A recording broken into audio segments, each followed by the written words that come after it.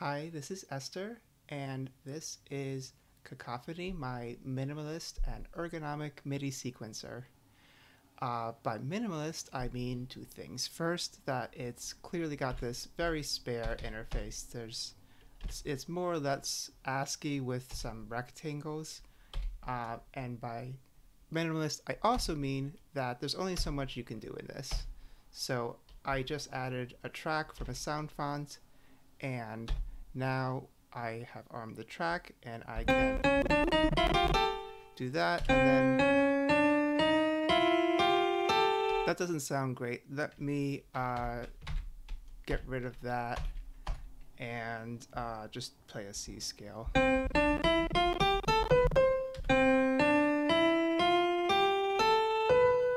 That sounds much better because it's a C scale. What if I wanted to uh, change the track? Then I just go to here. I can make it telephones, I guess. Okay, whatever. Uh, I can select the input beat that we're going to have next so we can get like a nice long note of telephones.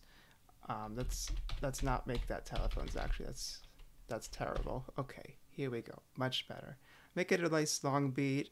Um, I can change the volume of the next input so it sounds like that. We can also add another track, you know, so we can we can add some more notes here.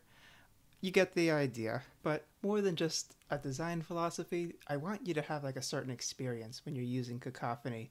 I want you to feel like the feeling when you are sitting at a piano or with your other analog instrument and you are like you know, booping out a tune, boop, boop, boop, boop, and you're writing it down with a pencil on actual paper. I want it to feel as close to noodling around with a real instrument as possible. This in no way is meant to emulate like a DAW. It's not meant to replace a DAW.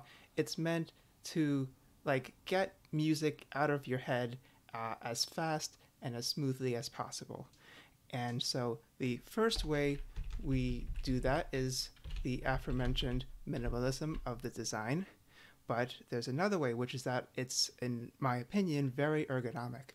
Um, so I'm going to I'm going to attempt to do something you're not supposed to do and just tip it down here. Okay.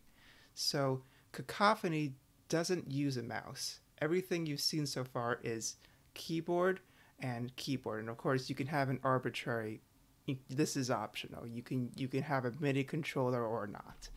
So I can use the arrow keys to decide where to place the next note or with the keyboard um, or I can use the uh, MIDI knobs and this is all mapped in a config.ini file that you can edit yourself.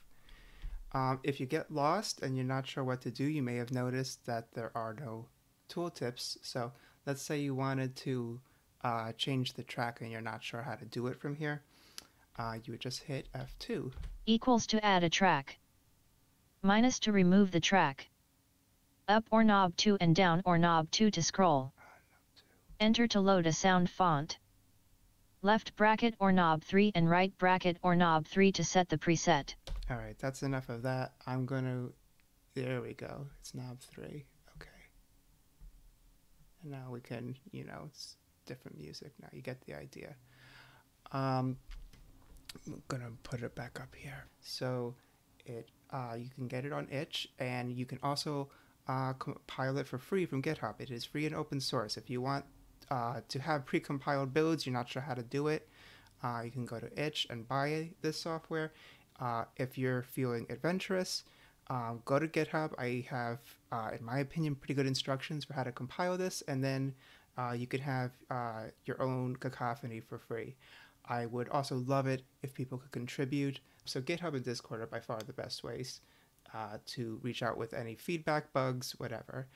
Um, so yeah, let me know what you think by uh, downloading Cacophony and I don't know, using it every day of your life. I don't know. Uh, I hope you like it. Please use it. Uh, this has been a, a real treat to work on um, and I hope you have fun with it too.